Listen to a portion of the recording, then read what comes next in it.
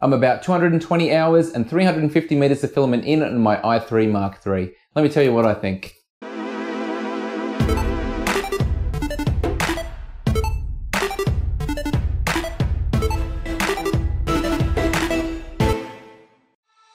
You might have seen my video two weeks ago where I did a speed build of my i3 Mark III kit.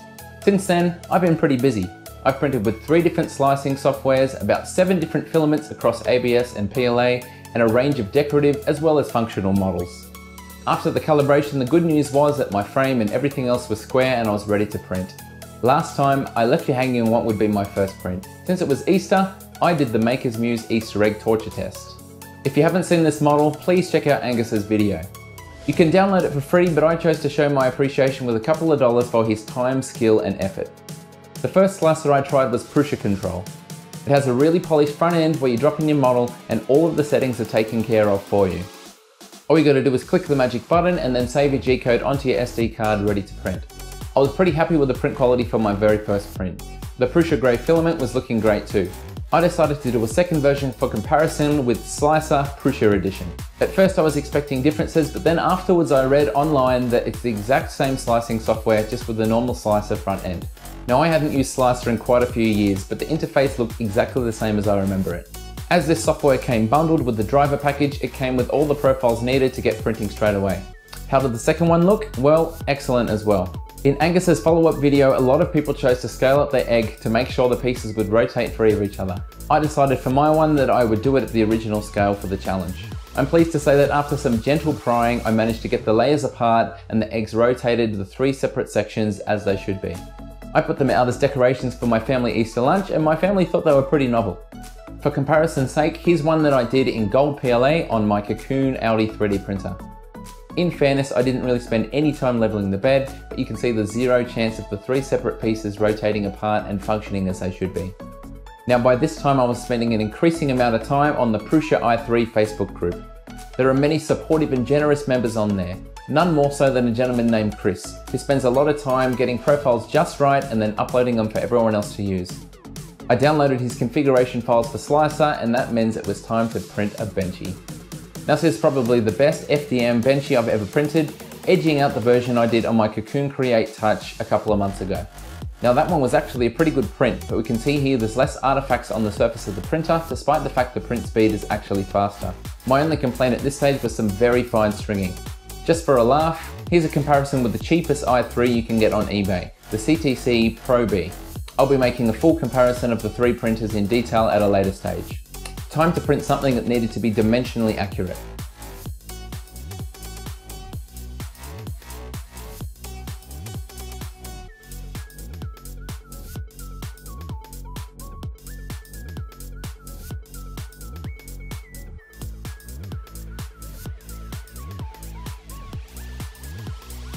I recently made a video on how to put together the Vorpal Robotics fidget spinner.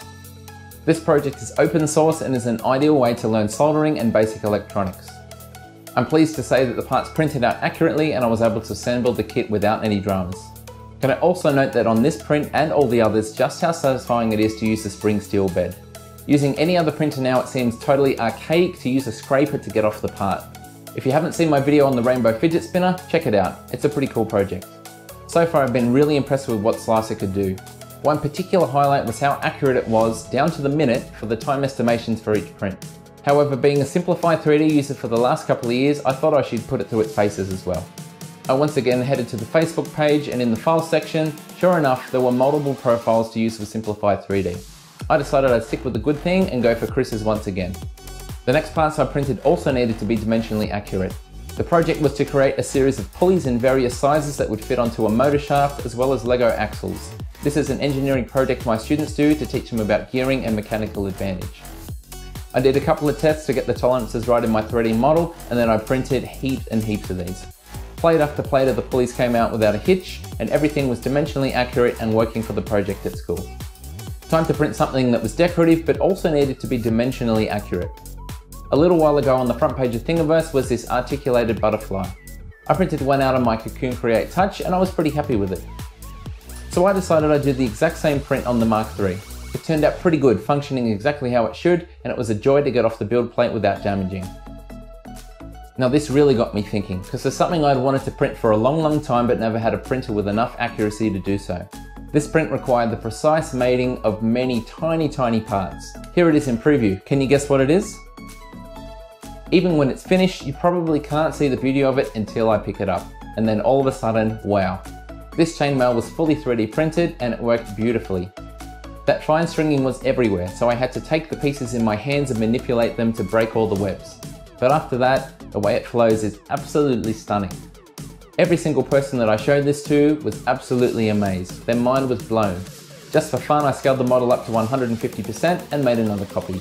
It turned out great too, but I think the original version in its smaller scale is a little bit more satisfying in your hands. The last thing I printed for this video, I wanted to be big. Enter the gyroid cube. I decided I'd print this thing without any support material to see how good the bed adhesion was. The first version didn't stick that well. That's because I have my print set so the live Z is as minimal as possible. I generally want the bottom layer of the print squished as little as possible because I don't want it to pyramid out and ruin the accuracy of the print. The good news is you can change the live Z in between prints and I did so to get it closer to the bed. Second time wasn't quite enough, but the third time it went pretty well. Check out this time lapse.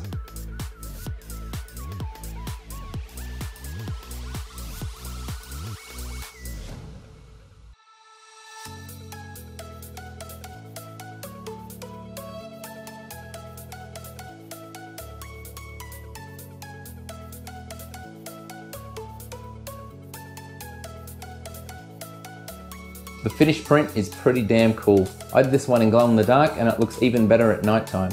If you angle it just the right way, you can see through even though it's completely solid from other angles. Now the lack of support material did hurt it and there's some pretty rough edges on the undersides. That however is not the fault of the printer and I felt very comfortable leaving this printer to go for its longest print yet. So you might be wondering, did I have any problems? And yes, I have had three. The good news is two out of the three were my fault.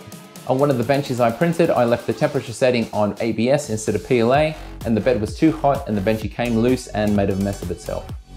Another time I had a repeated error at the start of a print, as the Z probe was going around trying to measure the bed. I found out after a little bit of head scratching that the problem was the spring sheet sitting up on top of one of the screws at the rear and not flat. Easy fix.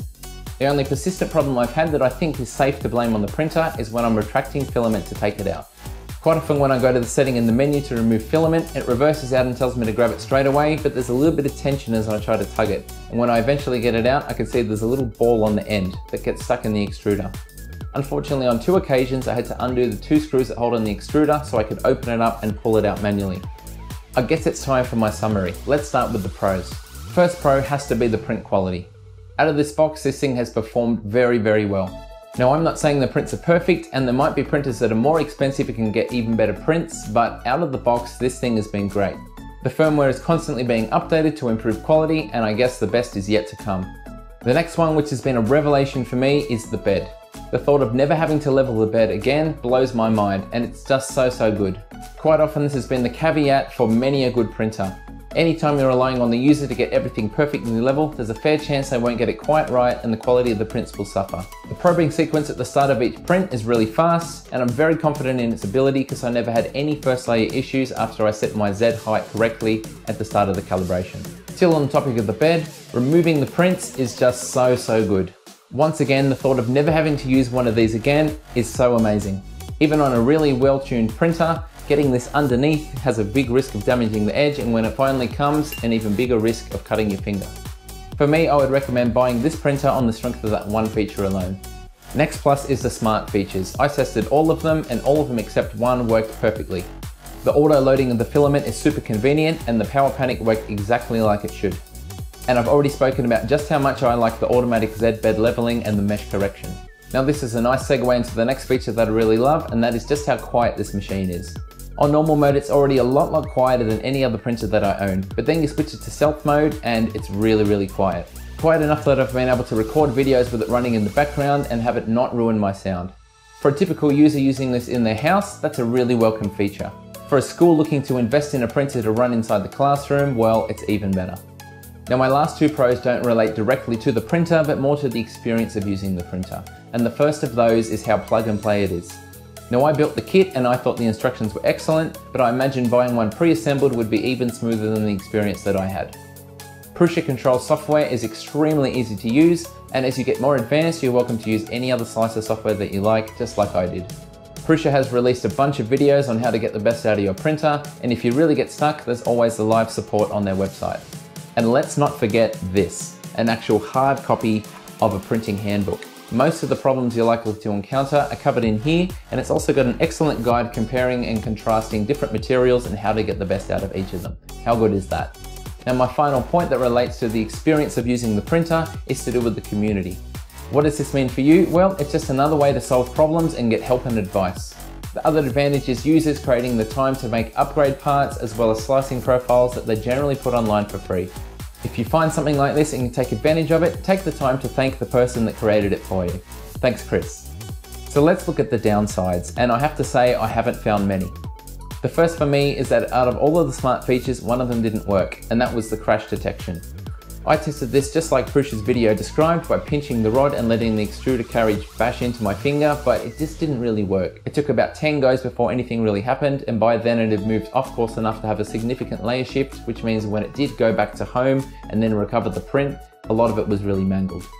The other problem I had I've already documented in this video, and that's when you're trying to remove the filament, there's a little blob on the end and it gets a little bit stuck. On two occasions I had to undo the two screws that hold the extruder arm in place and pull it out manually. Now the final downside is not necessarily one for me, but I could understand a lot of people would think it is, and that's the price. You can't ignore the fact that there is a myriad of cheap Chinese printers around, and a lot of them are based off this because it's open source. Now the truth is, with some tinkering, a lot of those cheaper ones can probably produce the same print quality as this printer here. But I guess that's the point. What's happening with this printer is it works straight out of the box and it's got a range of advanced features that you're not going to be able to emulate on a cheaper model. Now I know when the printer was launched, there was a range of the smart features that hadn't actually been put in the firmware yet and there was a lot of angry people. Now since I didn't get my printer at the very beginning, a lot of time has passed and Prusa have had time to iron out some of these problems and introduce all of the features into the firmware that they promised in the beginning. Compared to the cheaper printers, you're going to get excellent customer service and they're going to stand by their product and if they make an error, from what I've seen in the forums, they will send the new parts as long as you ask politely. Hell, even if you don't ask politely, you're still going to get your parts. So that's gonna wrap it up for this video. I'm very happy with this printer and what I've produced on it so far, and it's gonna be my go-to for all of my printing from now on. I've got a lot of great 3D printed projects coming up, so hit that subscribe button and stay tuned. Thanks for watching. G'day, it's Michael again. If you like the video, then please click like. If you want to see more content like this in future, click subscribe and make sure you click on the bell to receive every notification. If you really want to support the channel and see exclusive content, become a patron. Visit my Patreon page. See you next time.